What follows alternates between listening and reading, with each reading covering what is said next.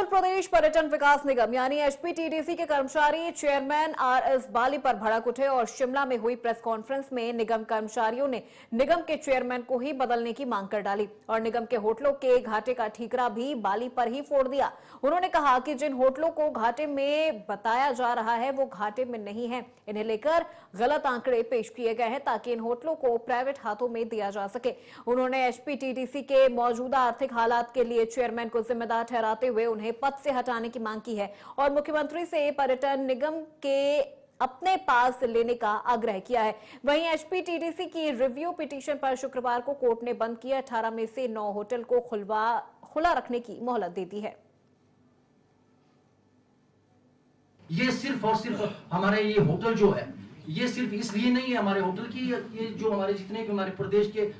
जो बाहर से आते अतिथि उनका स्वागत करने के लिए। हमारा, हम तो यहाँ पे जो हमारे वीवीआईपी होते हैं, उनके लिए भी हम तत्पर रहते हैं, जो यहाँ के जो हमारे मीडियम फैमिली के जो परिवार है, उनके लिए भी हम खड़े रहते हैं। हमारे रिजनेबल प्राइस है। पर इसके बावजूद भी इन्होंने ये घाटे में शो कर दी क्योंकि आज जब ये प्रॉपर्टी बंद करने की बात आई है, बंद करने की बात की चलो यार ऐसा है कि ये घाटे में चलिए या कुछ चलाओ, ऐसा कुछ भी नहीं है।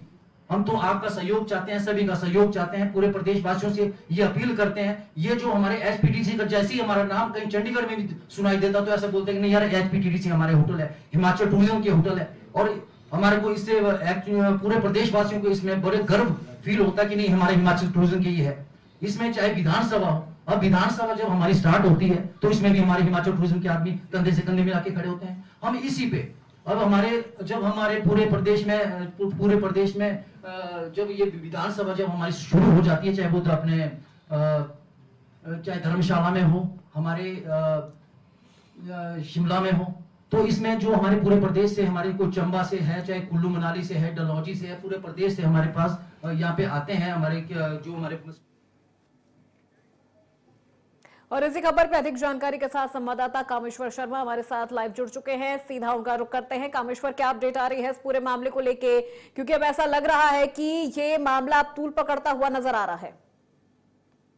जी, बिल्कुल, जिस तरीके से जो देखा जा रहा है, हिमाचल जो प्रदेश पर्यटन विकास निगम, यानी कि एच के जो कर्मचारी, जो उन्होंने चेयरमैन जो आर एस बाली पर भड़क उठे हैं और खासकर जो आज शिमला में प्रेस वार्ता को उन्होंने संबोधित करते हुए स्पष्ट रूप से कहा कि जो होटल के घाटे पर जो बाली का उन्होंने ठिकरा फोड़ा और खासकर जो भारतीय मजदूर संघ के जो प्रभारी एवं जो निगम के रिटायर दावीराम चौहान ने कहा है कि निगम कर्मचारी और पेंशन के कई बार चेयरमैन से मिलने की कोशिश की मगर उन्होंने जो मिलने का टाइम नहीं दिया और उन्होंने कहा कि जिन होटलों को घाटे में बताया जा रहा है वो हम्म। घाटे में नहीं है इन्हें लेकर जो गलत आंकड़े पेश किए गए हैं इसके पीछे कर्मचारी की साजिश का अंदेशा जताया जा रहा है ताकि इन होटलों को प्राइवेट होटलों में, यानी कि प्राइवेट हाथों में दिया जा सके। और कर्मियों ने कहा कि बीते जो पाँच नवंबर को भी जो पर्यटन निगम के निदेशक मंडल, यानी कि बीओडी की बैठक हुई थी, इसके, इसमें जो निर्णय अब तक जो कर्मचारी को नहीं बताया गया है तो कुल मिलाकर जो देखा जा रहा है दावेराम जो चौहान है, उन्होंने कहा कि कर्मचारियों ने आर जो बाली के दस मांगा है, और मगर जो आर बाली ने अपनी ही चुनाव के सत्तर लोग होटल में भर्ती किए हैं उन्होंने एचपीटीडीसी के जो मौजूदा आर्थिक हालात के लिए चेयरमैन को जिम्मेदार ठहराया और उन्हें पद से हटने की मांग और यानी कि मुख्यमंत्री से पर्यटन निगम अपने पास लेने का आग्रह किया है और देखा हम्म। जाए जो सुखविंदर सिंह सुखो ने जो पर्यटन विकास निगम के जो नगरोटा भगवा के जो विधायक है आर एस बाली को कैबिनेट रैंक के साथ जो चेयरमैन लगाया था और देखा जाए जो एचपीडीसी के महासचिव जो राजकुमार ने हिमाचल हाईकोर्ट से जो शेष नौ होटल भी खोलने का आग्रह किया है इस दौरान उन्होंने कहा कि एचपीडीसी के जो घाटे के कारण भी निगम उन्होंने गिनाए है और खासकर निगम कर्मियों ने जो राज्य सरकार में 50 करोड़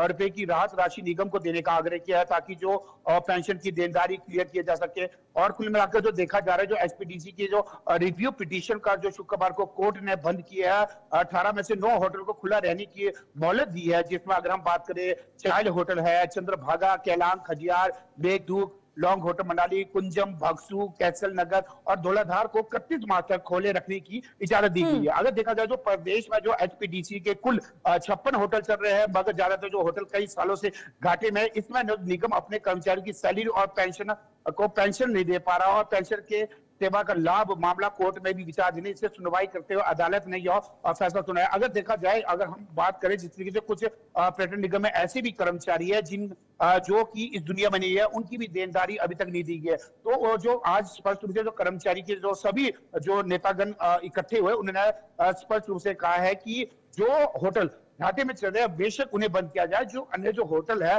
और कुछ एक होटल ऐसे है जहाँ पर जो एडवांस बुकिंग आ चुकी है मैरिज की जैसे उन्होंने बताया कि फागू में जो टूरिज़्म का होटल है वहाँ पर कुछ लोग ऐसे हैं जिन्होंने एडवांस बुकिंग दे दी है। ऐसे में वो लोग भी चिंतित है। जिस तरीके से अब जो ये कोर्ट का फैसला आया है तो उन्होंने आग्रह किया है कि जो होटल देखा जा रहा है जो होटल अगर घाटे में उन होटलों को बंद किया जाए। अगर देखा जाए हम चाइल्ड की अगर बात करें तो चाइल्ड चाइल्ड होटल में लगा जो सालाना जो इनकम है वो पाँच से सात कर्मचारी आपसे ये भी जानना चाहेंगे क्या चेयरमैन की तरफ़ से शिकायत को दूर करने की कोई कोशिश की जा रही है? भड़के हुए कर्मचारियों को मनाने की क्या कोई कोशिश की जा रही है? अगर देखा जाए जिस तरीके से कर्मचारियों का कहना है कि हमने जिस तरीके से आर एस बाली से मिलने की कोशिश की फ़िलहाल वो उनसे मुलाकात नहीं कर रहे हैं। उनका यही रोष है। उन्होंने कहा कि जो एक तरफ़ से ये हेड है और इनका एक दायित्व बनता है मुखिया है अगर देखा जाए टूरिज़्म के समय इनका फ़र्ज़ बनता है कि जो कर्मचारियों को जो पेंशन नहीं आ रही है या जिनको सैलरी नहीं मिल रही है कुछ एक नेताओं ने स्पष्ट रूप से कहा कि जो रामपुर डिवीज़न है जहाँ पर वहाँ पर जो टूरिज़्म के होटल है उनको जो सैलरी पंद्रह तारीख को आ रही है शिमला में नौ को आ रही है किसी क्षेत्र में तीन को आ रहे हैं ऐसे में जो टूरिज़्म जो वर्कर है उनको वो तन मन धन से कार्य करे लेकिन जो सैलरी का जो इश्यू है कुछ लोग हम्म। ऐसे है जो दुनिया में नहीं है तो कुल मिलाकर जो देखा जा रहा है जो ये अब आ, इनका ये कहना है कि जो होटल घाटे में नहीं चल रहे उन ठीक है ठीक है। बिल्कुल कामेश्वर आप नज़र बनाए रखिएगा इस पूरे मामले पे। दोबारा आपसे जुड़ेंगे फ़िलहाल बहुत शुक्रिया। चलिए